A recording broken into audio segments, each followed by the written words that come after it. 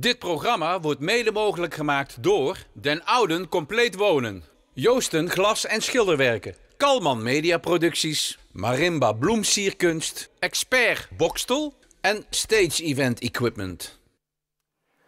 Vandaag in Dommeland Live gaan we het hebben over twee onderwerpen die al fix in de media besproken zijn, namelijk de drooglegging van de carnavalsoptocht hier in de gemeente Bokstel. En we gaan het hebben over de opening van het nieuwe hobbycentrum hier in Bokstel. Ze hebben een financiële injectie gehad van onder andere de gemeente, terwijl de andere gemeenschapshuizen de eindjes aan elkaar moeten knopen. Hoe zit dit? Waar komt dit geld vandaan?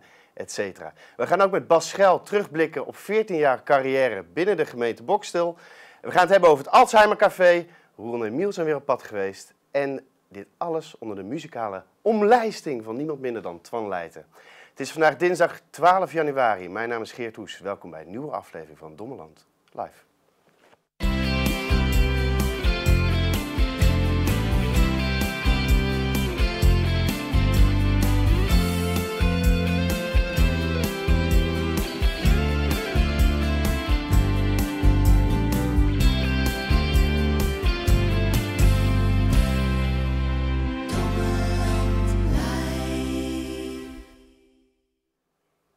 Ja, columniste Bets Bik heeft al in haar uh, column uh, de aandacht aan besteed. De drooglegging van de optocht hier in de gemeente Bokstel tijdens uh, carnaval. Er was een waar waggelreferendum. 80% was tegen van de mensen. Om daarover te praten bij mij in de studio Jan de Koning, voorzitter van um, Stichting Openbaar Carnaval. En John de Laat van carnavalsvereniging Geen Drank, Geen Klank. Jan, om bij jou te beginnen, welkom ten eerste. Dank je. Begin bij het begin. De stichting Openbaar Carnaval, wat doen zij precies? Stichting Openbaar Carnaval is een, uh, een stichting, zoals het wel zegt. Uh, wij verzorgen eigenlijk het gehele openbaar carnaval binnen Boksel, binnen Indegat dan. Hè. Dus wij zorgen voor prins, voor adjudant, voor raad van elf, voor dat de optocht, voor de zittingsavonden, al de liedjesfestijn, dus al dat soort dingen wat te maken heeft met geheel Indegat, verzorgen wij. Ja. En er is uh, een ware waggelreferendum ja. geweest. 80% uh, daarvoor zit je hier ook uh, vandaag bij ons op de bank. De drooglegging van ja. de optocht, althans van de deelnemers die, die meedoen. Hè? Ik wou zeggen, want naast de lijn mag gewoon gedronken worden. Ja, kun je ons, verschaf ons enig, als wachtelaars enigszins duidelijkheid? Het is uh, eigenlijk gekomen door uh, de veranderende wetgeving en uh, de, ook de strengere wetgeving. Um, mede als gevolg van ten eerste natuurlijk het feit dat de jeugd voortaan vanaf 18 nog maar drank, dus alcoholische drank mag drinken. Mm -hmm. En daarnaast, naast, naar het gebeuren in Haaksbergen, zijn de regels aangescherpt voor stichtingen en verenigingen die iets organiseren. En zijn stichtingen en verenigingsbesturen ingeschreven bij de Kamer van Koophandel voortaan hoofdelijk aansprakelijk voor dingen die gebeuren binnen hun, uh, uh, binnen hun uh, evenement. Mm -hmm. Dat heeft ons ja, van de ene kant helaas, van de andere kant is het misschien goed, doen beslissen om ook de regels van de optocht nu eens nog eens te, te bekijken en ja. ernstiger aan te scherpen. Ja. En je hebt het al over de regels. Wie, wie bepaalt deze regels eigenlijk? Deze regels komen vanuit de regering. En eerlijkheid die biedt mij te zeggen dat wij ook uh, om te spreekwoordelijke mat zijn geroepen bij de gemeente om ja. uh, daarover te spreken. En ja, toen wij dus de vergunning aanvroegen, uh, is ons ook te kennen gegeven dat wij wel degelijk zullen moeten voldoen aan landelijke regels en dus ook strenger zullen moeten gaan. Maar je hebt het over, je, hebt, je zegt het, sorry dat ik je interrupeer, je hebt het over Haaksbergen. Dan heb ik het niet verkeerd, dan, je bedoelt het ongeluk, de, de monsterdruk ongeluk. Wat daar, ja, wat daar is gebeurd. Maar wat is de combinatie van alcohol daar geweest? Dat is geen combinatie van alcohol, maar dat is een, het uh, organiseren van een evenement. Zo'n groot evenement als een, een optocht, of in dat geval dus de monstertruc. Maar een optocht is, ja, als je in Boksel kijkt, toch een van de grootste evenementen, denk ik, waar heel veel mensen bij betrokken zijn. Mm -hmm. En met name heel veel mensen die ook in een uitgelaten, plezierige stemming zijn, die mm -hmm. een pilsje op hebben. Mm -hmm. En uh, ja, daar rijden ook uh, tractoren mee met enorme banden. Ja. daar, daar zijn we natuurlijk al wel beducht op. Maar uh, ja, er kunnen rare dingen gebeuren met in combinatie van uh, rijdend materieel, drank en uitgelaten mensen. Nee, snap ik. Maar is het dan niet beter om te zeggen, de mensen die uh, alleen op, hè, je mag als je rijbewijs hebt, sowieso in de auto mag je ook geen alcohol drinken, nee. om, om nee. dat soort mensen alleen geen alcohol te laten drinken? Of? Nou, er staat sowieso al eh, altijd in de, of in de reglementen van de optocht dat de chauffeurs sowieso uitgesloten zijn van drankgebruik natuurlijk. Dat is, Ja, dat is logisch, dat is gewoon ja, de verkeerswet. ja. oké. Maar vij- eh, 500 euro borg moeten Ja. ze betalen, wat ik begreep, om die voortaan mee te doen. Nee, dat geldt alleen voor eh, verenigingen die niet aangesloten zijn bij Stichting Openbaar Carnaval. Ja, Omdat wij daar geen enkele grip op hebben. Kijk, eh, met deze jongens, eh, zoals geen drank, geen klank, eh, die, die, de verenigingen die aangesloten zijn bij Stichting Openbaar Carnaval, hebben wij maandelijks vergadering. Zij weten ook eh, wat wij eh, van plan zijn. Eh, wij overleggen met hun wat wij van plan zijn. eh, hoe het carnaval moet gaan beeldvorming, hoeveel lopen. zitten daarbij aangesloten? Bij onze vereniging? of Nee, bij, de- bij, de je zegt eh, als ze niet aangesloten zijn, dan moeten ze 500 euro borg betalen. Ja, ja dat, eh, dat is dus.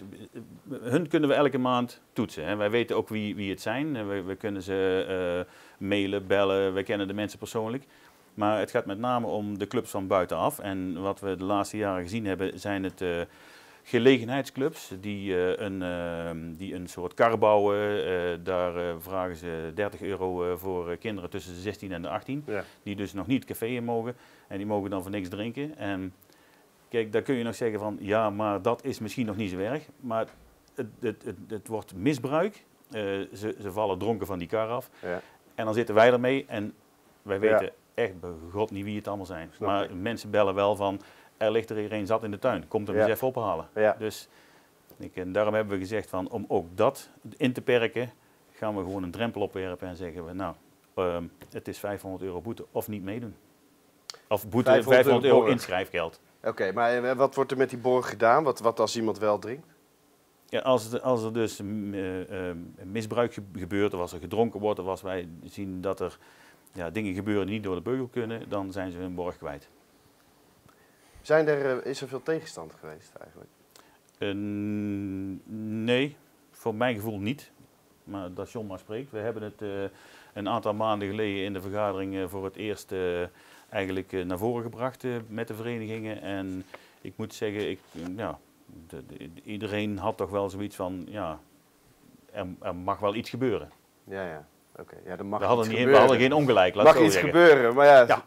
Ik denk dat iedereen, dat ze toch ook heel graag naar die fles Berenburger zo vandaag Ja, ik ik- wat iets anders. Al met al zeg ik ook altijd, het is ook maar anderhalf uur zonder pilsje.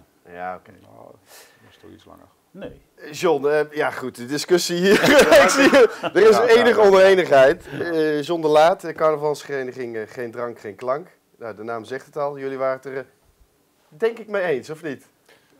nou, kijk, eh, het- is een beslissing van, eh, van de stichting en eh, die respecteren wij natuurlijk. Ja. Want er, er hangt, zoals Jan het ook al gezegd heeft, eh, een beetje het, het, het wettelijke aspect aan vast. Dus ja, als het zo is, dan is het zo. Maar we vinden het wel ja, heel erg jammer. ja. Wat, Ja, wat waren want, de reacties binnen de vereniging? Of Binnen de... Weer regeltjes. Want ook met, het, eh, met de beperking van, eh, van, eh, van 18 naar 16, of van 16 naar 18 voor het, eh, voor het drankgebruik van Mhm. jongeren. Mhm. Eh, het was eigenlijk al jammer eh, binnen de gemeente Boksel om, om die groep jongeren ergens te plaatsen met die dagen. Eh, dat is eigenlijk al eh, al een vrij lange probleem. Mhm. Maar voor ons als vereniging, eh, en ja, er zijn heel veel verenigingen die daar eh, maandenlang eh, tijd en energie in steken om een leuke praalwagen te bouwen. En eh, ja, waar houdt het dan tegen? Hè? Eh, Veiligheid is natuurlijk een heel Mhm. belangrijk iets. En gelukkig dat de verenigingen die de, die de mooie praalwagens allemaal bouwen, dat ze ook zorgen voor een stukje veiligheid. hè. Mhm. Eh, rondom de wagen, dat er eh, tijdens, vooral als er heel veel drukte zijn langs de optocht, ehm, dat we met voldoende mensen langs de wagen lopen Mhm. om het allemaal te controleren. Ehm, Jan die, zei, ja, die heeft het net toevallig over die, die grote trekkers gehad. Daar hebben we ook tijdens vergaderingen hebben we daar regelmatig aangegeven van jongens, schermte af. Ja. Zorg voor die veiligheid. Maar wat ik me dus afvraag, Jan, en, en, en, en ook aan jou, het publiek mag wel drinken. Ja, maar het publiek eh, valt niet onder de vergunning van een optocht. Kijk, dat is ik, handhaving van maar- de overheid. En Maar daar kan ik niks het aan doen. gevaar ligt natuurlijk bij het publiek. Ja, Wat maar- gebeurt er in de Tour de Ja, France altijd? Klopt. Als een renner, hè, dan komt het vaak dat een renner valt, hè, eh, vlak voor finish, omdat het publiek te dichtbij wil komen. Ja, Nou, ik- maar daarom denk ik ook dan, als, als wij dan alvast zorgen dat de optocht, hè, dat de straat, zou ik maar zeggen, super veilig is, dan kan er aan de zijkant nog zo wat gebeuren. Dan zijn zij nuchter en zij kunnen, zal ik maar zeggen, eh, meehelpen om het eh, op te Mhm. lossen. John, is er, bij jullie, is er bij jullie overwogen om niet mee te lopen door deze regel? Nee. Nee, niet bij mij weten in ieder geval. Maar nogmaals, eh, eh, dat soort incidenten die, die gebeuren vaak door een bepaald eh, aantal groepen. Hè. Dat zijn eigenlijk gewoon de, de, de groepen die ja, voor de gelegenheid in het leven geroepen worden. En daar hebben inderdaad een, een massaal groot drankgebruik. En er zijn in het verleden zijn er een paar incidenten gebeurd. Hè. Die gaan lekker aan de kabels hangen, die over de weg heen hangen en noem Ja. maar op. Kijk, dat zijn dingen die wil je natuurlijk niet hebben. Mhm. Maar ehm, je hebt tijdens die, die, die, die, die in de trek dan, de grote in de trek, heel veel punten waarop de organisatie kan zeggen van jongens, het is genoeg.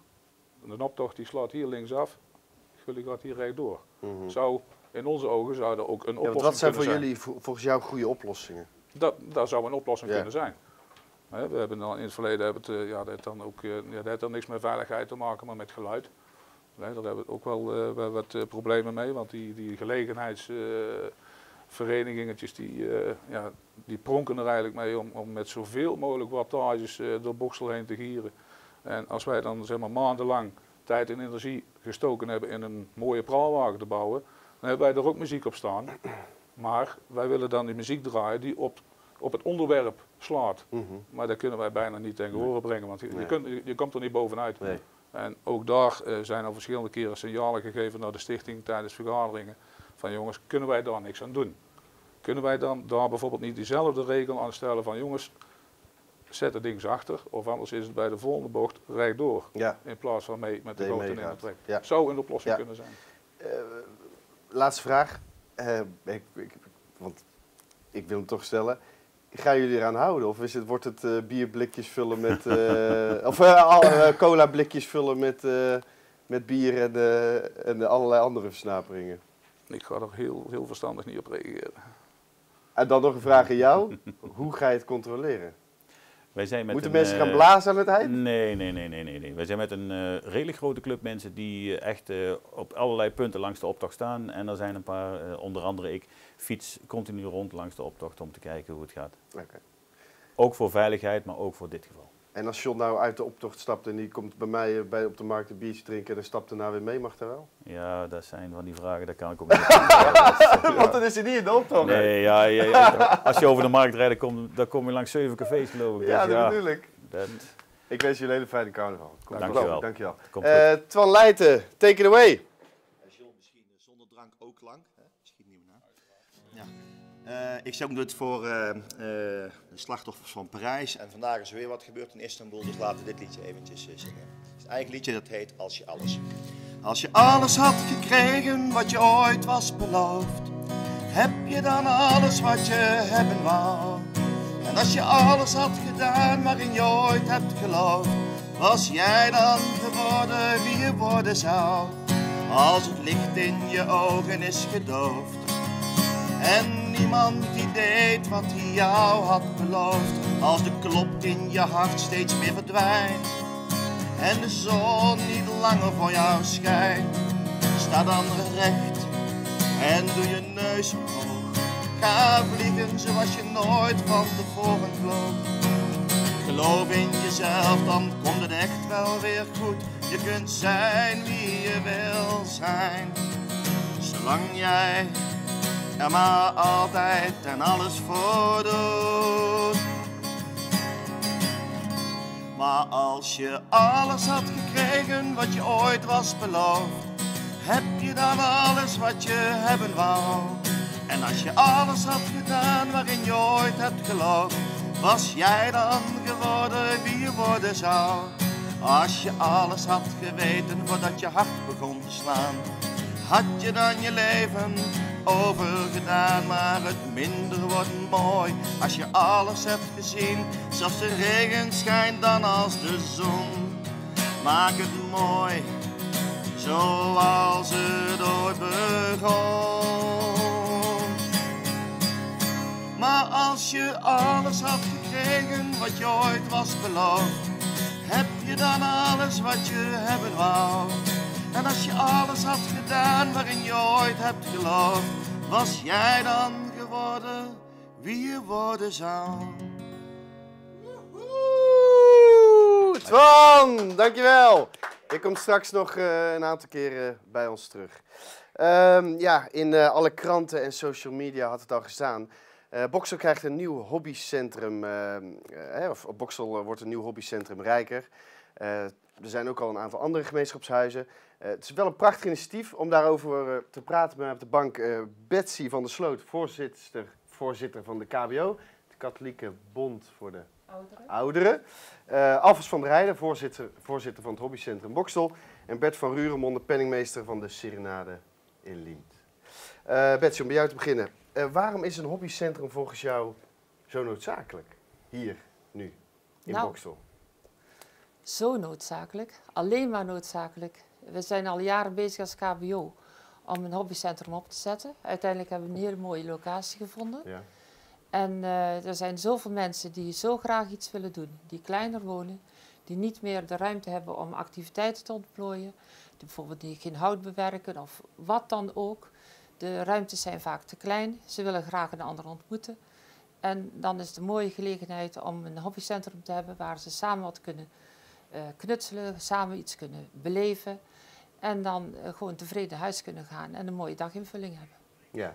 En het is geen nieuw hobbycentrum, het is een hobbycentrum, het is wel nieuw, maar het is het eerste hobbycentrum van Boksel, dus er was Ja. er nog geen. Ja. En het voldoet in de behoefte. Al jarenlang hebben wij gehoord van wanneer komt er nou zo'n centrum. Nou, uiteindelijk is het gelukt. Ja. Ja. Je hebt het eh, voor elkaar gekregen om met een aantal raadsleden leden naar een uh, soortgelijk hobbycentrum in Mil te gaan. Eh, wat ik had begrepen. Ja. Eh, daarna ging het eigenlijk als een speer. Hoe heb je dat voor elkaar gekregen? Ja, er zijn niet alleen eh, raadsleden geweest, ze zijn naar de rand geweest, maar we zijn met de wethouder en een paar ambtenaren geweest. Zijn we onder naar Mil gaan kijken en je ziet in de omgeving van Bokstel op verschillende plaatsen zo'n hobbycentra opstarten. het, eh, het geeft toch iets aan deze tijd dat de mensen gewoon toch iets willen doen. En in Mil was een mooi voorbeeld, ook een initiatief vanuit de KBO opgestart. En nou, daar zijn we gaan kijken. Ook de wethouder was enthousiast. Nou, dat was wel begin januari. Uiteindelijk duurt het dan toch nog bijna een jaar voor het dan echt helemaal rond is. Maar we hebben er gewoon heel veel werk aan eh, gehad en het is allemaal goed gelukt. Ja. De KBO die heeft het initiatief gegeven. En eh, we zijn er niet alleen voor de KBO-leden, maar in Bokstel hebben we 14.000 mensen boven de 50 en die mogen allemaal deel gaan nemen in het hobbycentrum. Dus wat dat betreft hebben we eh, bijna voor de helft van Bokstel zijn wij eh, begonnen met iets dat waarschijnlijk perfect gaat lopen. En eh, Ja. ik heb er goede hoop op. Ja, dat is fijn. ja. Jullie hebben in totaal eh 115.000 euro bij elkaar weten te krijgen. Dat is toch een flinke som geld in, in deze tijden van eh, hè, bezuiniging eigenlijk. De gemeente heeft daarin de 43.000 euro bijgespekt. 25.000 euro opstartkosten. Eh, 16.000 of 18.000 euro als aanvulling voor de komende drie jaar eigenlijk. Welke raadsleden, welke wethouders waren mee eigenlijk naar dit uitstapje? Of dit, deze Van de Broek. Wethouder van de Broek was mee geweest. Oké. Ja. Oké, oké. Ja. En moet ik, moet, ik, moet, ik, moet ik begrijpen, of wat, kijk, we hebben natuurlijk een aantal gemeenschapshuizen hier in de omgeving al. Ehm, je ontkomt er niet aan in deze tijd. Hè. De gemeenschapshuizen, zijn heel veel gemeenschapshuizen die ontzettend hun best moeten doen om eh, de eindjes aan elkaar te knopen. Eh, er zijn als KBO hebben jullie leden, betalende leden volgens mij, die ook eh, verschillende, bij verschillende eh, gemeenschapshuizen ook nu al actief zijn. ja, dat klopt. Worden deze mensen eigenlijk daar weggetrokken dadelijk? Nee, dat is nou zo jammer dat iedereen denkt dat wij bij de gemeenschapshuizen de mensen weg gaan halen, maar dat is dus niet zo. Wij zijn een aanvulling op datgene wat in de gemeenschapshuizen gebeurt. En het verschil tussen gemeenschapshuizen en het hobbycentrum is toch heel duidelijk. Gemeenschapshuizen die eh, mogen bij wijze van spreken ook naar de rand nog een borreltje drinken. Dat is er bij ons niet. Bij ons is het een douchecentrum. En bij de gemeenschapshuizen, daar worden ook nog heel veel activiteiten van de KBO gehouden. Ja. Daar, de grote vergadering, alles wat daar gebeurt, dat gaat ook niet verplaatsen. Want daar is ook geen ruimte voor. Laat staan dat we het zouden willen. Nee, Ja. dat willen we ook niet. Maar wat is een douchecentrum exact? Nou, eh, volgens mij, als je met je handen werkt, dan heb je een douchecentrum. Ja, ja. En eh, als je daar eh, bloem schikt of schildert of potten bakt of Ja. eh, eh, metaal bewerken, hout bewerken, bewegen, dat zijn allemaal doedingen. En als, als, als mensen nu een, een potje willen kaarten bijvoorbeeld? dat, dat gaat daar niet. Nee. Het kaarten, het kienen en het eh, kaarten blijft gewoon in de gemeenschapshuizen. Ik heb ook met de gemeenschapshuizen gesproken. En die hebben daar ook geen bezwaar tegen. We hebben goede verstandhouding met de gemeenschapshuizen. En eh, heel veel activiteiten die er nou zijn, die blijven daar gewoon. Ja. En eh, kunnen we niet bij de een, dan komen we bij de andere terecht. Maar uiteindelijk zijn we gewoon niet... We zijn aanvullend met het hobbycentrum, Ja. maar we zijn geen tegenpool van, Ja. van het gemeenschapshuis. Je bent voorzitter van de, van de KBO. Eh, waar zitten jullie zelf gevestigd? Nergens verder. Maar, We, we hebben gewoon eh, we hebben een bestuur en het bestuur vergadert of in de Walnoot of in de Rots Ja. of bij iemand thuis. En we hebben de activiteiten die worden of in het gemeenschapshuis of de doelactiviteiten waar vanuit de KBO ja. eh, aandacht aan wordt besteed, kunnen naar het hobbycentrum Ja. toe. Maar wij hebben geen ruimte verder waar wij samenkomen om te zeggen dat is ons huis. Nee. Eh, het hobbycentrum is van, een stukje van de KBO, maar ook voor de andere mensen van Boksel. Maar we hebben geen eigen huis om te zeggen dat is eh, net als een gilde dat je zegt we gaan naar het gildehuis toe. Maar het is niet dat het hobbycentrum nu ook een soort KBO-plek Nee, gaat worden? Nee, nee, nee. Alleen eh, de mensen denken het is alleen voor KBO-leden. Nee, het is niet alleen voor de KBO-leden. De KBO heeft, eraan, heeft aan de, de basis gestaan, het wieg gestaan om Ja. het hobbycentrum op te richten. Ja. En met ons hebben we mensen gezocht die het mee willen oprichten. En Alfons heb ik aangezocht als voorzitter van, Ja. het, van het hobbycentrum. En het staat ook los, in die zin los van de KBO. Nee, wij hebben er ook geld in gestopt. Maar de, de, laat zeggen, de hobbycentrum is echt voor de gemeenschap van Boksel. Oké. Waar, en Maar waarom, goed, hebben jullie, waarom, hebben jullie er niet voor gekozen om, om in een bestaande locatie te gaan zitten? Bijvoorbeeld als de Rots of je zegt Ja. de Walnoot. Eh, Waarom hebben jullie gekozen voor een nieuwe locatie? Nou, denk er zelf eens heel goed na. Als je nou metaal gaat bewerken, waar zou je het in de rots gaan doen? Nee, nou, ik vraag aan jou. nee, maar ik bedoel, dat, dat is er gewoon niet. Ja, Je kunt daar niet, niet eventjes een half uurtje metaal bewerken of een uur en dan zeggen we ruimen de zaak weer op en alle machines worden aan de kant geschoven. Dat gaat gewoon niet. nee. Dus het is echt een centrum waar je materiaal hebt staan. Net als die schildersezels, als die straks daar kunnen blijven staan, is het alleen maar mooi dat ze kunnen blijven staan. In plaats van dat je elke middag alles op moet ruimen. Dus het is gewoon ook praktisch. Oké. Jullie hebben gekozen voor eh, de locatie, wordt eh, de oude Blanca volgens Ja. mij. Eh, het is best een fors pand. Ja, maar we zitten niet het hele pand hoor. Je kunt het verdelen in de eerste de locatie waar de ruimtes waren voor, voor bestuur en vergaderen. En dan die hele grote hal. En dan daarnaast. En wij Mhm. zitten een stuk daarnaast. Is het ook nog best wel, voor ons is het eh, groot genoeg. Maar het is niet zo dat wij in het hele pand zitten. Maar hoe groot is dat dan? Ehm 400, Ja, dat weet ik toevallig, want Ja. ik heb de tekeningen gemaakt. 480 meter. Ja, het is Ja. een, een benedenverdieping 143 meter. Boven de, de tweede etage is even zo groot. En voor het bewegen hebben we een aparte hal en die is 140 vierkante Ja. meter. Dus we praten over hebt- 450 vierkante Ja. meters ongeveer. Ja. Hoeveel? 450 450 in vierkante meter vloeroppervlak. 450 vierkante meter Ja. vloeroppervlak. Oké. Een onderverdieping, een bovenverdieping en nog een aparte hal. Ja, Ik ben toch benieuwd. Ik heb het een en ander uitgezocht. Gelukkig. Ik heb ehm, eh, bij de makelaar, met de makelaar contact opgenomen. Ja? 143 vierkante meter kost 12.500 euro per jaar. Ja. Het is een commercieel pand. Commerciële verhuur. Dat is veel geld. Ja. Wat een snelle rekensom. 143 vierkante meter, 12.500 euro. En jullie zitten op 450 vierkante meter. Ja. Ja. Dat is bijna, we komen op 40, 45.000 euro. En uit. voordat ik aan dit kwijt begon, heb ik ook gerekend. En ik Ja. weet ongeveer wel eh, te becijferen eh, hoeveel dat het allemaal kost, inclusief energie en eh, Ja. belasting Ja, en vaste lasten. ja. Eh, ik heb ook uit, eh, becijferd dat wij zo'n 350 mensen nodig hebben Ja. die deelnemer gaan worden aan het hobbycentrum. Die komen uit alle gelaagtes van eh, de Bokselse bevolking. Ja. Hè, eh, Betsy heeft al aangegeven 14.050 plussers. Nou. Als ik daar 5% op een gegeven moment van in onze gelederen kan welkom heten, dan ben ik er al. Ja. En dan maakt het eh, de stichting eh, met de opstartfinanciën die we hebben, Ja. maakt het mogelijk om eh, zichzelf te gaan bedruipen. En dat is ook de bedoeling.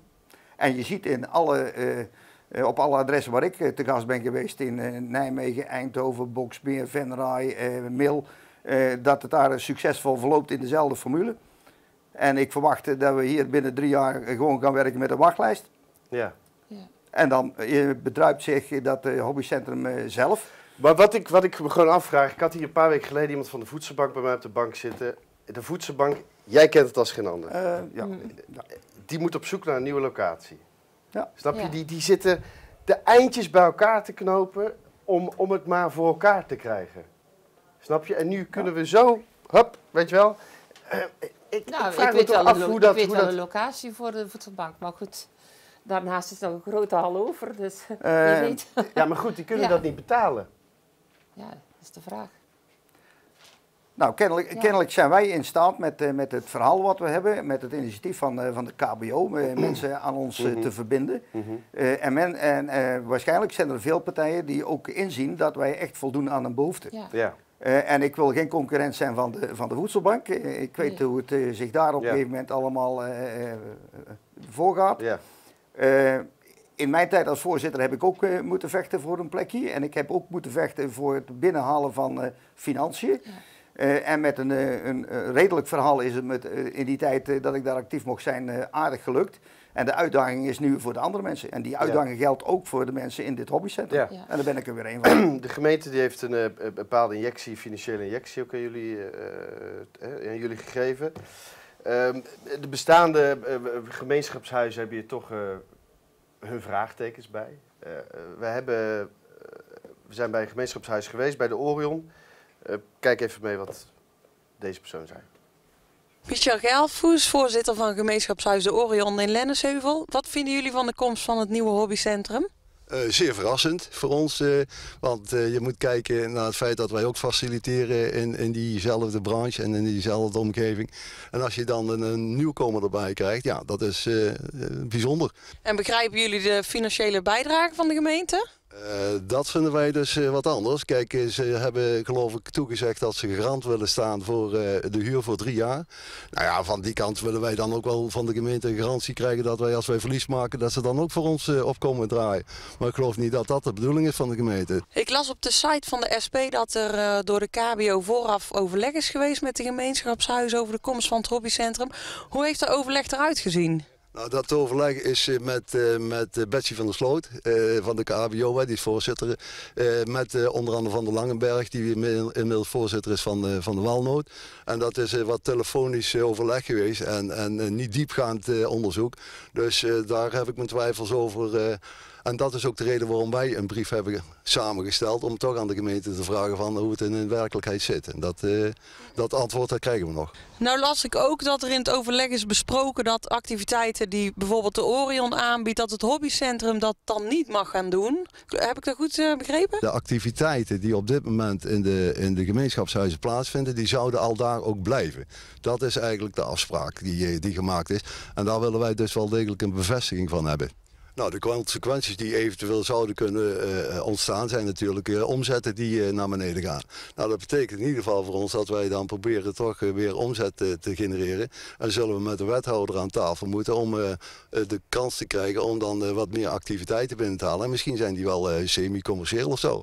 En dan zal de wethouder dan toch op een gegeven moment toch ook eh, water bij de wijn moeten doen. En als dat niet kan, dan, dan hebben we dus misschien wel een Ik hoorde jou op een gegeven moment nee schudden. Ja, nou, ik heb er niet per brief eh, gereageerd met eh, Van der Langenberg. Ik ben daar gewoon op gesprek geweest. Dus eh, het is maar net hoe je het wil vertellen. Ja. Ja. Maar en die had er geen problemen mee, omdat al de activiteiten gewoon in de walnoot bleven.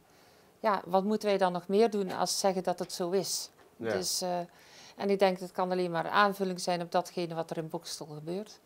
En we hopen er het beste van, hè? Ja. We gaan er het Ja. beste van maken. Ja. ja. Ja. Eh, de Rots die heeft eh, ook nog gereageerd. Daar hebben we op, eh, op beeld volgens mij de reactie van. Die hebben een statement gegeven. Ik zal hem ook voorlezen. Natuurlijk zijn we, het niet, zijn we er niet mee eens. Vooral omdat wij weten dat we vanaf volgend jaar gekort worden op onze subsidie. Er gaat een hoop geld naar het nieuwe hobbycentrum, Music for All en onder andere. Cultuur, waarvan wij maar moeten afwachten hoe het zich ontwikkelt. Er is ons beloofd dat de grote activiteiten, zoals bijvoorbeeld Kine, bij de bestaande gemeenschapshuizen blijven. We hebben echter ook begrepen dat het hobbycentrum zich uiteindelijk zelf moet gaan bedrijven. Dan kunnen we alleen maar hopen dat, zich, dat men zich aan de gemaakte afspraken houdt. Nou, dat klopt. dus. Dat klopt De ook helemaal. Bij de Rot zijn ze gewoon super tevreden met datgene wat wij daar doen. En eh, het hobbycentrum heeft ook geen borreluurtje naar de rand. Ik bedoel, in de gemeenschapshuizen kunnen mensen nog een borreltje drinken. Daar, is, daar komt ook geen drank binnen. Dus Mhm. dat is wel heel goed bij het carnaval, wat zojuist geweest is. Maar het, eh, het, het, het, eh, het is gewoon een andere opzet, een andere manier van doen. En wij kunnen echt niet alles daar doen in Ja. het hobbycentrum. Nee. En eh, ja. Bert, jij bent voorzitter van, eh, penningmeester, sorry, niet verkeerd, van de, van de Serenade eh, in Liemt. Ehm, zijn jullie, hoe, hoe zijn jullie op de hoogte gesteld eigenlijk? Nou, we zijn er eh, via de media achter gekomen. Want eh, ja, jammer genoeg is er dus eh, absoluut geen overleg vooraf geweest omtrent de plannen. Eh, naast dat ik penningmeester ben eh, van Stichting Serenade, ben ik ook voorzitter van het dorpsberaad in Liemde. Dus wat dat er gaat, eh, zou ik eigenlijk vanuit meerdere lijnen Ja. die ontwikkelingen hebben kunnen vernemen. Alleen jammer genoeg is dat niet gebeurd. En op zich primair heb ik, hebben wij niks tegen een ontwikkeling waar een behoefte aan is. Maar waar we wel ernstig bezwaar tegen hebben is twee zaken. Allereerst dat er absoluut geen vooroverleg geweest is. Terwijl de gemeente Boksel in al hun uitingen zegt van het moet uit de gemeenschap komen, het moet van onderaf komen, het moet gedragen worden door de gemeenschap. Nou, overleg daar dan mee. Kom dan tot besluiten. En het jammerlijke is dat er opnieuw gekozen wordt, en ik ben het eh, niet met de stelling eens van nou ja, er is geen ruimte, dus het is absoluut nodig dat er ruimte bij komt. In 2012 heeft Contour de Twern in opdracht van de gemeente Boksel een onderzoek gedaan bij de gemeenschapshuizen van hebben jullie nog ruimte, hebben jullie mogelijkheden om een WMO-invulling te gaan geven. Nou, dat is het enige onderzoek wat er geweest is, ook het enige contact wat er geweest is. Want sindsdien is het gewoon totaal stil in dat gebeuren. Mhm, En komt er dus geen doorontwikkeling mhm. van die behoefte die er dus blijkbaar is. Ja. En dan komt er dus een nieuw gebeuren waarvan gezegd wordt van oké, eh, het raakt de andere gemeenschapshuizen niet. Nou, oké, we zullen het zien, we zullen het volgen. En ik hoop dat het zo is. Hebben jullie onderling contact gehad? Nee. Nee, we hebben niet met de Nee. Serenade. En ik Nee. heb dus eh, De vandaag... nog- Kloosterhof was wel op de hoogte. Ik heb Ja. vandaag nog even telefonisch een rondje gemaakt langs de, langs de Kloosterhof en langs PS10. Mhm. Eh, Kloosterhof heb ik niet gesproken, moet ik eerlijk zeggen, maar PS10 heb ik wel gesproken en ook daar is geen enkel contact mee geweest. Dus wij gaan nu wel vanuit Dorpsberaad ge- eh, aangezet met de drie partijen in overleg. En dan gaan we toch ook weer richting gemeente. Want het kan eigenlijk niet zo zijn dat wij, en vanuit Serenade weet ik dat we de afgelopen jaren echt heel veel energie hebben moeten stoppen om een klein beetje middelen te krijgen om een nodige uitbreiding van bergruimte te kunnen realiseren. Ja. Ze hebben vier jaar mee bezig geweest. Ja. En dit wordt in een jaar tijd gewoon hup, subsidie erin. Drie jaar, garant, drie jaar garanties stellen voor, eh, voor huur. Nou, dat is makkelijk regeren. Ja. En je begint opnieuw en alle waardering voor het initiatief en, en, en Ja. eh, voor de positieve inbreng die je hebt om te zeggen, nou dat gaat lukken. Ja. ja. Er zijn nog meer initiatieven die er staan. Hè. We hebben in Liemde nog een boerderij eh, Mhm. gekocht staan die nog Mhm. eh, een ontwikkeling moet krijgen. Ik heb daar grote zorg over. Kun jij deze reacties begrijpen, Betsy? Ja, ik kan, ik kan op zich wel begrijpen, maar ik denk toch dat we graag over een jaar weer bij elkaar aan tafel gaan zitten. Om dan eens te kijken hoe het dan echt verlopen is. En dan denk ik dat we elkaar alleen maar kunnen vinden in, in meer samenwerken, meer doen. In plaats van dat we nu gaan zitten kijken van, nou, dat klopt helemaal niet. Maar waarom dan, Ja. waarom dan niet vooraf, Betsy? Neem dan vooraf Ik snap wel dat ze, ze graag geïnformeerd hadden willen worden, ook. Snap ik. Ja, ja. maar het, het is, eh, we hebben de opdracht gekregen om met de gemeenschapshuizen van Boksel te gaan praten. Dus, eh, Ja, maar Liemde hoort ook bij Boksel. nee, maar luister, daar hebben we... Tenminste, dat vindt Nee. dan wel. Dat, dat klopt ook wel, maar daar hebben, we dus, daar hebben wij niet de opdracht voor gehad om dat te doen. Dus Dus de ouderen stoppen met daar lijntje boven te steken. nee, nee, dat zeg ik helemaal niet. Maar het, eh, de, het echt puur gemeenschapshuis, zoals de naam gemeenschapshuis, dat is de Orion, dat is de Rotsen, dat is de Walnoot.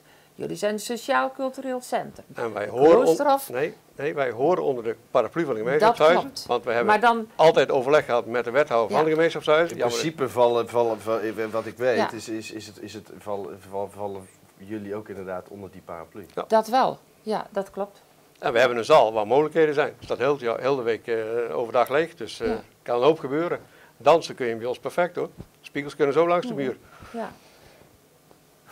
dat, dat Heb kan. je, heb, je maar geen we hebben- aparte, heb je geen aparte zaal voor nodig? Tegen die huurtarieven bij ons ma- mag het een stuk goedkoop. Kijk, ik snap wel dat er veel kritiek is, Betsy. Dat zul je natuurlijk ook wel begrijpen. En jij bent natuurlijk de aangewezen persoon als, Ja, maar voorzitter zit er van de KBO. Ehm, maar het is natuurlijk wel heel raar hè, in deze tijden, waar we het net ook al over hadden, dat er in één keer zoveel geld... eh, en, en ook eh, ja, als ik dit- zie wat de huurprijzen zijn, en jullie hebben het over 450 vierkante meter. Ik zie in het rapport van de makelaar, eh, wat ik onder ogen Mhm. kom, dat 143 vierkante meter al 12.500 euro kost. Ja. Vind ik, als burger, die ook het gemeenschapsgeld, eh, eh, weet je wel, iedereen draagt bij aan, met, aan het gemeenschapsgeld, vind ik te veel geld. Oprecht. We hebben de wethouder gesproken, Erik van der Broek. Kijk even mee. Erik van den Broek, het nieuwe hobbycentrum. Heel mooi initiatief. Er zijn verschillende bedragen in de media genoemd wat de gemeente gaat bijdragen. Hoe zit het precies? Wij hebben 25.000 euro beschikbaar gesteld voor de activiteiten organiseren. En 18.000 euro beschikbaar gesteld, en dat is een bedrag wat over drie jaar eh, verspreid is, als eenmalige opstartsubsidie. En dat is vooral gekoppeld aan de huisvesting. Gaat daar nog geld bovenop komen? Nee, het eh, geld wat op dit moment geoormerkt is, dat is ook het geld wat is afgesproken met eh, de, de KBO. Dus daar moet het eh, verder voor opgestart worden. En wat zegt deze keuze over de toekomst en de financiering van de andere gemeenschapshuizen die er al zijn? We hebben nadrukkelijk afgesproken met de KBO en met de stichting die straks eh, het hobbycentrum gaat eh, beheren dat eh, het expliciet niet zo mag zijn dat het hobbycentrum activiteiten weg gaat trekken uit de gemeenschapshuizen. Zo is het ook afgesproken. Nou lees ik ook dat er bloemschikken, yoga, dat wordt dan als voorbeelden genoemd. Dat kan toch ook gewoon in de huidige gemeenschapshuizen? Eh, dat zou in principe wel eh, kunnen. Ehm, maar de afspraak die we hebben gemaakt met het hobbycentrum... en daar heeft het hobbycentrum ook overleg over gehad met de besturen van eh, eh, de gemeenschapshuizen... is dat er geen activiteiten die op dit moment plaatsvinden bij eh, gemeenschapshuizen... dat die daar weggehaald eh, worden. En wie gaat dat controleren? Uiteindelijk wordt dat eh, eh, gecontroleerd eh, door de gemeenschapshuizen zelf. Dus daar zijn harde afspraken mee gemaakt. Ja, en die zullen aan de bel trekken op het moment dat dat niet wordt nagekomen. Dan snap ik dat de initiatiefnemers met deze locatie komen. Maar is het dan niet aan de gemeente om te zeggen... nou, wij gaan hier niet mee akkoord. Ga eerst maar eens kijken naar bestaande locaties. Nou, we hebben natuurlijk meegedacht met de initiatiefnemers. En eh, ook gezien de, de, de, vestigingsplaats, ligging van deze eh, eh, locatie, kwam deze locatie er als beste uit. Nou zijn wij ook bij andere gemeenschapshuizen geweest. Die hebben wij om een reactie gevraagd. En een van de reacties is... Ja, wij hadden ook wel een garantstelling voor onze huur gewild van de gemeente. Was uw reactie daarop? Ja, dit initiatief dat valt natuurlijk buiten de financiering van eh, de reguliere gemeenschapshuizen. Ik denk dat je het eh, initiatief van het hobbycentrum vooral moet zien in het kader van dagbesteding in het kader van de WBO. En de gemeenschapshuizen worden natuurlijk gefinancierd vanuit de reguliere subsidiestructuur die, eh, die we kennen voor eh, gemeenschapshuizen. Dus dit staat daar in feite wat buiten. Laatste vraag. Ik zag dat het eh, gericht was vanaf 50-plussers. Nou ken ik die een hoop. en die zijn toch allemaal nog aan het werk. Dus dan eh, ja, gaat een deel van de doelgroep voorlopig misschien nog niet komen... terwijl wel een aardige omzet behaald moet worden. Bent u daar ook bang voor? Nou, het gaat natuurlijk om een heel erg grote groep. Want er in Bokstel zijn zo'n vier- 14.000 eh, mensen 50 jaar en ouder. En dat zal alleen nog maar groeien in het kader van eh, de vergrijzing. Dus ik ben er niet zo bang voor dat eh, heel veel mensen daar geen gebruik eh, van maken. Maar het klopt dat inderdaad heel veel mensen, van die mensen op dit moment nog aan het werk zijn. Bedankt voor de toelichting. Graag gedaan. Aldus Erik van den Broek. Voor de mensen thuis wil je de interviews die we net lieten zien eh, thuis nog een keer bekijken of helemaal of nog meer beelden. Ga even naar de website www.omroepdommeland.nl. Eh Betsy, want we, zi- we gaan- ik heb nog heel veel vragen eigenlijk voor jullie allemaal, maar de tijd gaat enorm snel. Eh, Erik zei het net, of we vroegen het al aan Erik, 50 plus. Jij zegt ik heb een berekening gemaakt. Heb je je berekening hiermee rekening gehouden? Ja, zeker Ja. wel. Ja. Ja. Eh 5% van 14.000 mensen is voldoende om eh, tegen een dagvergoeding van, eh, per dagdeel van 3 euro eh, met ons mee te gaan doen. Ja. En de leden van de KBO gaan we 50 cent korting geven. En als die een jaar mee hebben gedaan, hebben ze de contributie van de KBO terugverdiend. Zoeken jullie nog vrijwilligers? Heel, veel. veel. Heel veel. Ja. Heel veel gastvrouwen, mensen die het, eh, elkaar het vak willen leren. Ja? In principe werken, werken we allemaal met onbetaalde vrijwilligers. In Ja. een enkel geval dat de vakkrachten worden gevraagd, zullen de deelnemers die vakkrachten zelf gaan betalen. Dus binnen het hobbycentrum 3 euro per dag vriendelijk ontvangen, door mensen op een gegeven moment die het graag overbrengen aan anderen. Je vertelt het met een glimlach. Ja, ik wens jullie met het hobbycentrum heel veel succes. ik wens jullie ook heel veel succes en ik hoop dat, het allemaal, eh, dat iedereen eruit gaat komen. En wellicht dat de gemeente nu meekijkt eh, en denkt van nou, we, we gaan de andere gemeenschapshuizen ook eh, even helpen. Wij Want ik durven de snap op een bepaalde manier wel de kritiek. Ja, Toch? maar wij Ja. durven de uitdaging aan. Goed Ja, zo. Van Leijten, take it away. Oud liedje van mezelf. Heel oud. 50 hè. Ik ben ook 50 plus. Ja, ho ho. Nou, puur op het gevoel heet dat. Puur op het gevoel hou ik van jou. Helemaal vanzelf ben ik mezelf bij jou. Ik wil jou alles geven en ik geef jou heel mijn leven. Want ik ga blind voor jou. Wow, ik hou van jou. Je stond daar in die kroeg. Toen ik jou vroeg, hoe heet jij? Wil jij mij dat vertellen? Ik werd spontaan verliefd. Mijn hart dat werd ook lief door die blik. Die blik in jouw ogen. Ik wist niet wat te doen. Ik stond daar maar te staan. Maar ergens diep van binnen, hey, wist ik, ik laat jou niet meer gaan. Puur op het gevoel hou ik van jou. Helemaal vanzelf ben ik mezelf bij jou. Ik wil jou alles geven en ik geef jou heel mijn leven. Want ik ga blind voor jou. Ik van je hou. Van Leijten! Heel mooi. Ehm heftig onderwerp net, ander onderwerp. Alzheimer Café. Bij mij op de bank eh, José Swinkels, ehm, sociaal-cultureel werker en kroegbaas. Kroegbaas? Kroegbaas! en uh, Ad van Roosendaal, voorzitter regio het Groene Woud. Ehm, José, kroegbaas. Kroegbaas, ja.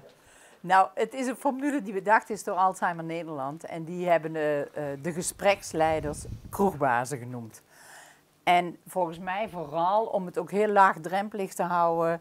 eh, bruin café-achtig idee. ja, ik denk dat dat de achterliggende gedachte is geweest. Ja.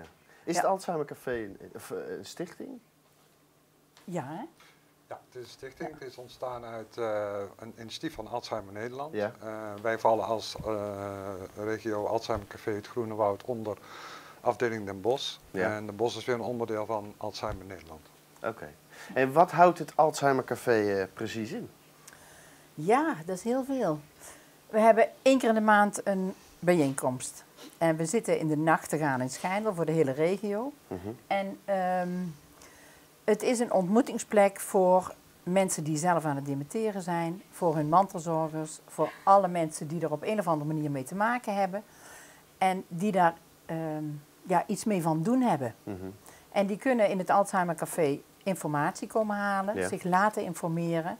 Die kunnen eh, lotgenoten tegenkomen die ja, in dezelfde situatie zitten.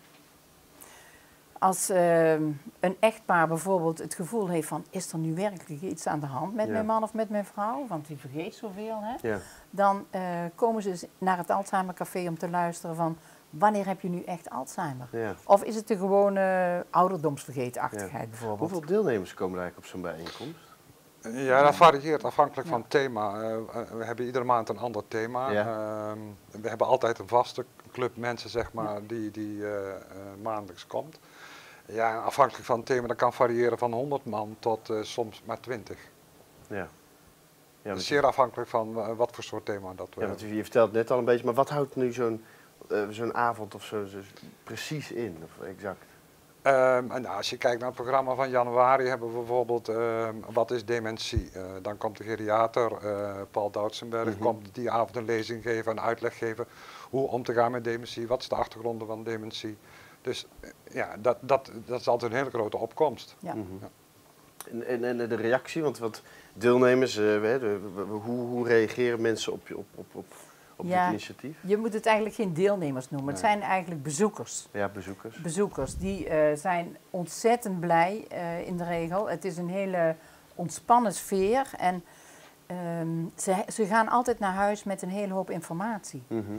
En ondertussen hebben ze ook zo eh, samen aan tafel gezeten en zijn ze mensen tegengekomen die in dezelfde situatie zitten. Vooral delen ook met elkaar. hè, veel delen, overleggen. Ja. Precies. Ja. eh, Ja. Kijk, ik ben niet de enige die, die dat mij treft. En, en ook mijn buurman, mijn buurvrouw. eh, Ja. Ja.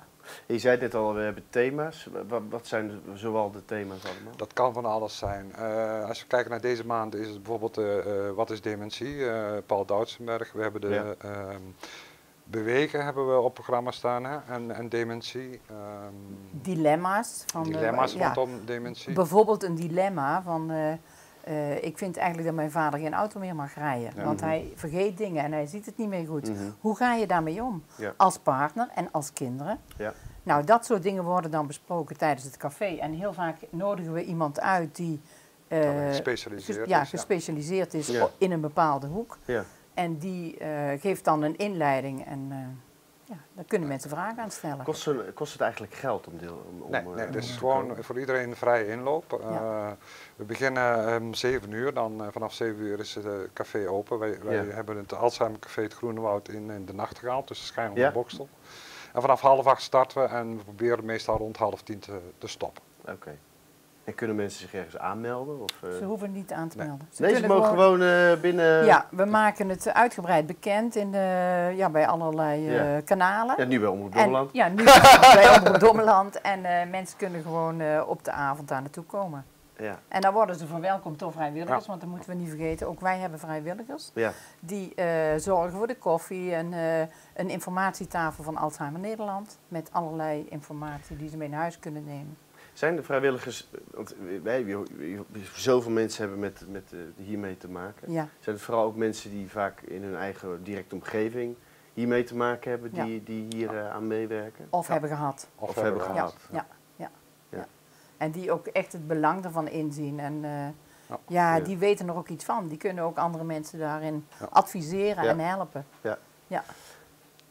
Wanneer zijn deze avonden? Want je had net al, we hebben nu dit thema, maar ik heb... eh, Ja, eh, je moet het nu goed verkopen. Ja, ja, ja. ja, ja. Eh, 28 januari is het eh eerstvolgende eh, nieuwe thema dit jaar, dus eh, eh, wat is dementie? Ja. Eh, het is altijd de vierde maandag van de maand Ja. in eh, de Nachtegaal in Schijndel. Ja. Ehm, we bedienen eigenlijk de hele regio, Schijndel, Bokstel, Liemde, eh, Vught, Es, ehm, Haren. Haren. En het is opgezet door eh, de regio Alzheimer en Bos eh, Ja. en de deelnemende organisaties, zorgorganisaties uit eh, Schijndel, eh Laverop en, en Zorggroep Elde uit Bokstel. Ja. En de welzijnsinstellingen uit Schijndel, Bokstel en Sint-Mies-Gesten. Goed zo. Ik vind het een prachtig initiatief. Ja. We, zitten, we zijn live, dus we, we zitten heel, heel... We hebben er nog weinig tijd nog maar over, maar ik wil je ontzettend danken. En eh, ik denk dat het eh, heel goed is. Dankjewel Oké, voor je komst. dank je. Graag. Ehm, Roel en Emiel die, eh, zijn weer eh, de markt opgegaan. En die eh, vroegen aan de burgers in Bokstel... En als Roel en Emiel op pad gaan over is het altijd hilarisch. Die vroegen aan de mensen in Bokstel... hoe ze nou de eerste week van het nieuwe jaar zijn doorgekomen. Kijk mee. Meneer, wat zijn uw voornemens? Wat wilde nou? Dat ik zeg dat ik ga stoppen met roken of zo. Nou, het zou wel mooi zijn. De voornemens van mij die hangen van iemand anders vanaf eigenlijk. Oh, van, toch niet van een vrouw zeker? Nee, want ik ben homo. Tips voor 2016. Ja, in, in een stoomding hebben wij. En dan gooi ik alles in. En dan is het een 20 minuutjes. Kun je zelf instellen. Perfect. Ja, een kale kop in. Dus Ja. alle warmte vliegt uit uw hoofd, zeggen ze. Dus ik zet altijd een hoed op. Snijboontjes, boontjes, alles. Verrukkelijk. Bloemkool, alles. Gelukkig zijn bestaat gewoon niet meer. En voornemens hebben, dat kan ook niet meer. It's kibbeling. Kibbeling. Kippeling? Kippeling. Ja. Kibbeling. Kibbeling. Goed zo. You got it? Good so. Ik heb al een vermoeden wat uw wensen zijn voor 2016. Ja, gezond blijven. Minder roken. Ja.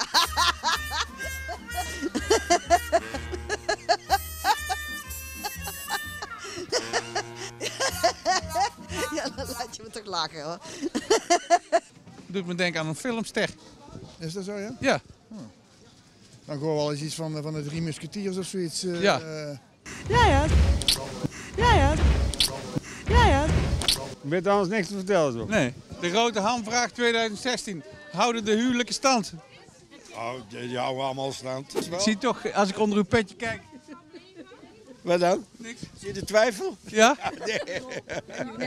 Je weet nooit. Nee, nee. Nee, je weet maar nooit. eh, Hè? Hoe een koe een haas vangt. Ja. Strijden tegen het onrecht, hè? Ja. En was er in Boksel nou voor onrecht? Inbraak, eh, auto's die in brand worden gestoken. Hoe heet u? Ik ben eh Ad van Spaandonk. Ad van Spaanlijk is de drie, een van de drie musketiers en die vecht tegen de autobranden in 2016. Die gaat geen auto de fik in 2016. Daar gaan we hopen. Daar gaan we voor strijden. Ja. Hè? Eén voor alle. Alle voor één. Hallo. 2016. Ja, gelukkig wel. En hoe is het begin tot nu toe verlopen? Uitstekend. En dat is, was te merken aan? Nou, temper- temperatuur redelijk, hè. Alleen maar het noorden wat minder, hè. Aha, u bent weerman. Uitstekende zomer. Daar ga ik vanuit althans, dat wil ik ook graag. en eh, ja, dat- en een eh, wat minder goeie- goed voorjaar. Het zal wat kouder blijven dan we gewend zijn in het voorjaar. Maar wel een uitstekende zomer. Kent u Geert Hoes? Eh, ja, ik heb er ooit van gehoord.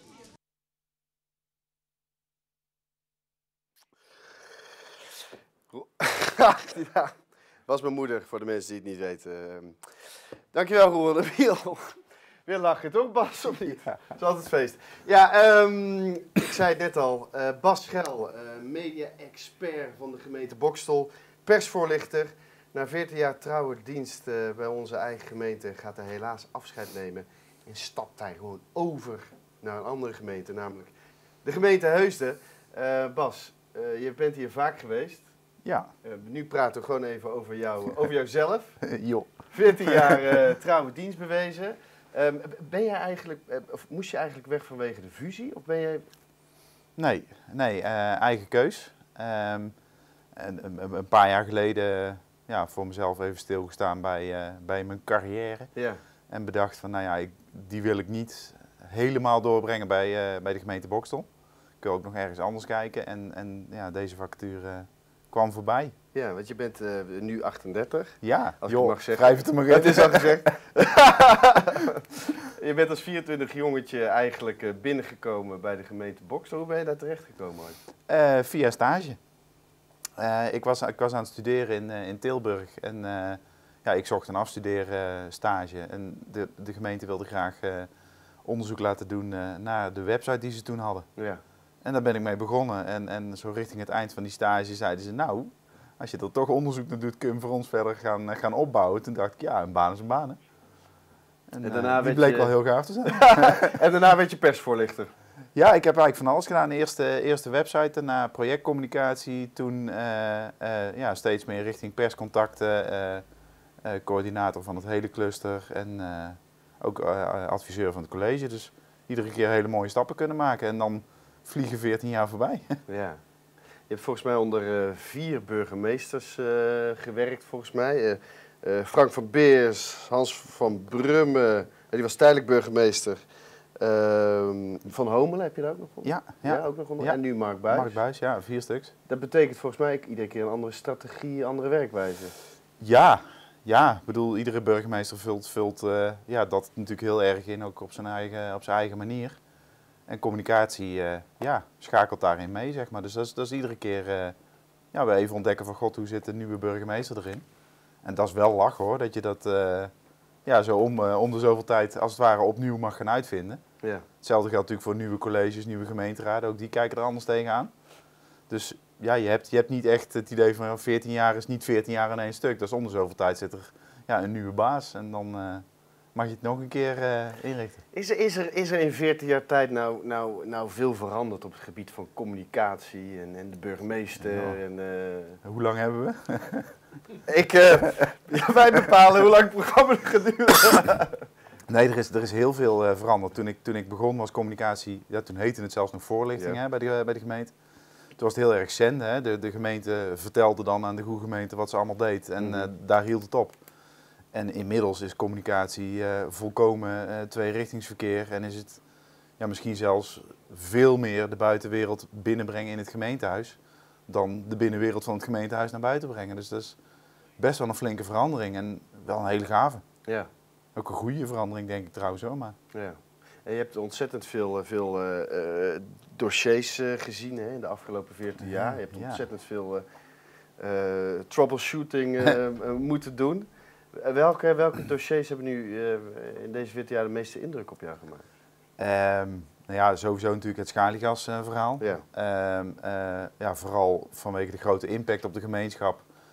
En eh, het, ja, voor mij zelf is het het dossier geweest met de meeste, ja, de, het, het meest complex. Natuurlijk eh, heel veel eh, contacten ook met, met eh, Den Haag en weet ik het allemaal. Daar had ik daarvoor nog niet echt meegemaakt. Mhm. Eh, dus ja, dat, dat eh, is natuurlijk ja, een van de onderwerpen die ik eh, niet gauw meer ga vergeten. Mhm. Eh, maar wat voor mij zelf de meeste impact had, was de vondst van eh babysterren in eh, 2012. De vondst van? Babysterren. Ja, ja, ja, dat ja, ze- ja, ja. ja. Dat, dat vond ik wel echt heel heftig. Maar omdat je dat persoonlijk... Ja, mijn, mijn vrouw en ik waren toen bezig met een heel intensief ziekenhuistraject om, Ja. om papa en mama te worden. Mhm. Nou ja, en dan gebeurt er zoiets, dat, dat heeft me wel geraakt, ja. Ja, hoe, ging je dat mee, hoe ging je daarmee om dan? Eh, nou ja, eh, eh, maar gewoon als mens. Ik heb me maar gewoon proberen in te leven in eh, ja, wat je doet voor zo'n klein babytje. als het je eigen baby zou zijn, wat je dan zou willen. En dat heb ik maar gedaan. En dat, de, de burgemeester van toen, Frank van Beers, die deed dat ook. Ja. Zo van, joh, ja, ze hoort nu bij ons. Ze is op welke manier dan ook, zeg maar, ze is uiteindelijk in Boksel terechtgekomen. En dan moeten we er maar goed voor zorgen, ook al is eh, helaas al overleden. Maar... En dat was wel, eh, ja, dat, eh, dat, dat was er wel een. Ja, dat grijpt aan. Ja. Ja, Ja. dat snap ik. En, we hebben, we hebben, je hebt, wat ik ze net al zei, je hebt hier regelmatig op de bank gezeten om weer te praten over de verschillende problemen die zich voordeden. Of over, om te communiceren over wat de gemeente te verkondigen had. Eh, zijn er nog dingen te verbeteren op het gebied van communicatie, denk jij? Ja, volgens mij Binnen al- de gemeente? Ja, volgens mij altijd. Eh, het, het belangrijkste is denk ik dat het, eh, dat het wel heel fijn zou zijn als, als communicatie, dan met name het van buiten naar binnen werken, als dat nog breder in de hele organisatie Mhm. ja, ingebed raakt. Je- Je kunt dat wegleggen bij communicatie, maar ja, dan heb je een man of vijf, zes die dat dan doen, maar die kunnen natuurlijk nooit ja, op, al, op alle onderwerpen, al die grote en kleine dingen, eh, dat red je niet. Dat moet je met de hele organisatie doen. En ik denk dat dat, eh, ja, dat, dat kan nog beter. Daar wordt wel heel, eh, heel goed aan gewerkt, moet ik zeggen. Je ziet het heel erg bij de projectleiders, hè, die, die een paar jaar geleden hadden die communicatie ja, voor heel veel dingen nodig. En tegenwoordig ben je veel meer mensen aan het sparren, maar hebben ze er zelf al aan gedacht. Ehm, dus ik denk dat dat de slag is die de gemeente op dit moment aan het maken is. Dat zit hem ook in het nieuwe merk natuurlijk. Mhm. hè. Meewerkend Boksel eh, ademt dat ook helemaal uit. En wat ik wel stoer vind is dat eh, ja, de gemeente Boksel die slag zelf ook maakt. Ja. Daar hoeven ze niet voor worden aangespoord of wat dan ook. Mhm. Ze zijn het aan het doen. Ja. En ja, dat is over een paar jaar veel beter dan dat het nu is. Dat, dat, eh, het zou raar zijn als het over een paar jaar slechter is, zeg maar. Gemeente Heusden, wa- wat ga je doen in Heusden? Ik word coördinator communicatie. Oh ja, echt? Ja, Dus- nee. Hup, hup. Ja, ja, nee, ik... eh, Dus zet het poppetje ergens anders neer. ja, ja, ja. Nee, Maar het is wel heel gek. Mark Buis Komt uit Heusden. komt uit Heusden. Ja, ja, had er niet Zit daar een connectie? Ja, had, hij heeft zoveel goede verhalen verteld over Heusden dat ik dacht, ja, daar wil ik werken. Maar heb jij gewoon gesolliciteerd op die functie? Of, eh? Nou ja, ze hadden ook wel... eh, ze hebben mij wel benaderd dat er iets aan ging komen, dus ik was wel getipt. En ik kende ze via mijn, mijn werkzaamheden bij de veiligheidsregio. Ja. Kende ik Heusden van een paar eh, calamiteiten en wat oefeningen. Ja. Dus ja, helemaal onbekend terrein is het niet. En wat, ja, wat ik daar ehm, eh, anders kan gaan doen dan hier in Bokstel, ik kan daar weer wat meer een team eh, gaan aansturen. Ja, en ik vind het sowieso ook wel spannend en interessant om, om het op een ander te gaan proberen in mijn vak. Ja. Op een andere gemeente. Ja. Vul jij wel in, toch? ja. Ik weet niet, ben je nu nog in ambtelijke functie? Of, eh? Ja, nog. Oh, Ja. Wanneer ben, ga je officieel weg? Eh, aanstaande vrijdag is mijn laatste werkdag. Oké. En 28 januari eh, neem ik afscheid met een borreltje op het gemeentehuis. Nou, wie wordt jouw opvolger? Er komt niet een opvolger van het wordt Pietje of Miepje of wat dan ook. Boksel en Gestel zijn ja, net een paar weken ambtelijk gefuseerd. Dus dat, de twee oude clusters communicatie zijn nu samen één team en die gaan mijn taken ja, eh, eh, Ja, we oppakken. hebben natuurlijk ook een fusering gehad. Ja, Eh, ze ja. hebben 230 mensen zijn er volgens mij overgebleven binnen de gemeente, dacht ik ook toch? Nou, nee, het Ah, zijn- functies.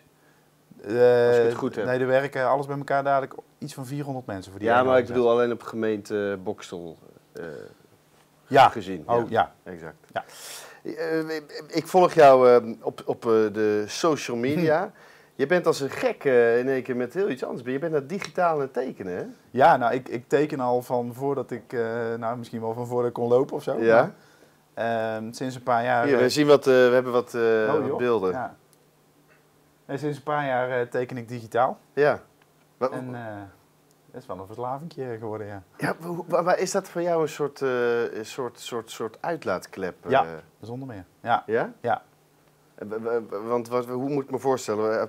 Als eh, Bas die heeft, eh, heeft ook een gezinnetje. Die maakt dan veel uren, uren bij de gemeente. Die maar die sluit zichzelf s'avonds eh op, Nee, ik- op een kamertje. Nee, nee, nee. Ik teken gewoon, gewoon beneden ja, voor de tv of op de bank of aan tafel. Of, Ja. ja. dat kan overal natuurlijk. Ja. En ik zorg echt wel dat ik, dat ik quality time heb met mijn mannetje en met, met mijn vrouw. Dat, Maar je hebt, je hebt echt talent hiervoor. Want je ziet ook, de, ook Maar zou je hier je brood niet mee willen verdienen? Ja. Ja, dat is ook nog een droom. Ja. Dus ik, ik heb voor de grap gezegd, stel dat eh, op 1 februari begin ik in Heusden. Als op 2 februari, eh, nou ja, ik, ik begin bescheiden Disney belt van zou je bij ons willen komen, dan heb ik een hele Heusden? Ja. Dag! Ja, dan ben ik weg. Echt? Ja, ja, ja. Ga jij Ja. in Heus ook wonen nu? Nee. Jullie blijven hier eh, Ja. in Ja, gezet. ik, ik ben een box als mannetje, dus ik, ik, ik blijf hier wel hoor. Ja. Ja. Oké. Hey Bas, ik eh, wil jou ontzettend danken voor jouw eh, alle Ja. tijd die je hier ook hebt doorgebracht. Jullie ook bedankt. Omroep Dommeland. Ja. Ik wens je ontzettend veel succes in, in Heusden. En toi, toi, toi. Zet hem op. En Thanks, dank voor je komst. Ja, jullie ook veel succes en bedankt. Komt helemaal goed, dankjewel. Twan, take it away. Nou, laatste liedje. Ja, ik doe alleen mijn eigen liedjes vandaag. Ehm dat gaat over toen mijn vrouw in verwachting was van onze eerste dochter. En hoe mijn leven daarna zich ontwikkelde. Zijn er vaders van dochters binnen? nou. Nou, het geldt ook, het geldt ook voor zonen. We beginnen bij de zwangerschap. Je buikje mooi en rond, daar zit ons kleine meisje. Ze wil er heel graag uit en beginnen aan haar reisje. En eindelijk is ze daar, bruine ogen en zwart haar. En ik wist het bij de allereerste wee. Papa is nu mama's nummer twee. S'nachts lig jij in bed, wie weet waarvan te dromen.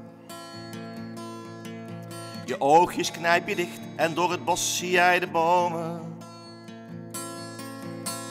Je gaat nog zoveel doen, maar dan komt die allereerste zoen. Daar zit ik nu. En dan kan ik er niet langer meer omheen.